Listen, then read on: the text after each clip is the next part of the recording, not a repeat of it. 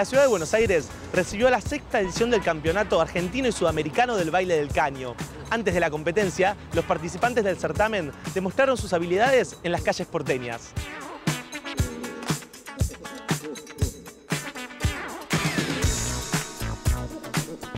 ¿Qué es el pole dance? El pole dance es lo que vulgarmente se conoce como baile del caño o de la barra vertical, se le dice también. El pole dance de que nosotros hablamos es mucho más deportivo y de hecho se está buscando instalarlo como deporte olímpico, porque el nivel de entrenamiento que tiene es muy exigente. Contá un poco en qué consiste el entrenamiento de esta disciplina. El entrenamiento básicamente eh, consiste, bueno, eh, mucho pole, trabajos también en gimnasio de fuerza, trabajos de, de núcleo, de abdomen, bueno, un poco de todo, más acompañar una dieta, pesajes eh, semanales, es bastante, bastante complejo. ¿Qué le dirías a una persona que nunca hizo pole dance y quizás quiere probar?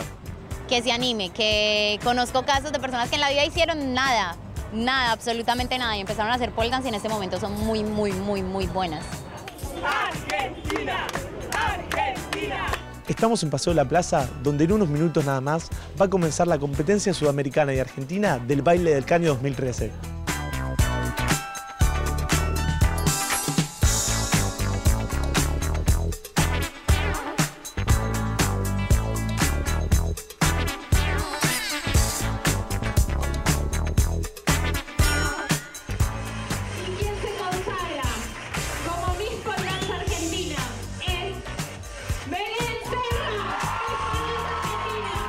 ¿Qué representa para vos haber ganado este campeonato?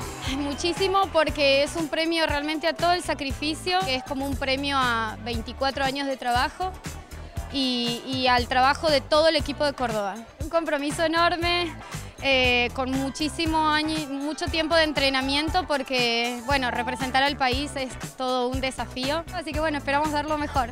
De esta forma se celebró Miss Pole Dance Argentina y Sudamérica 2013.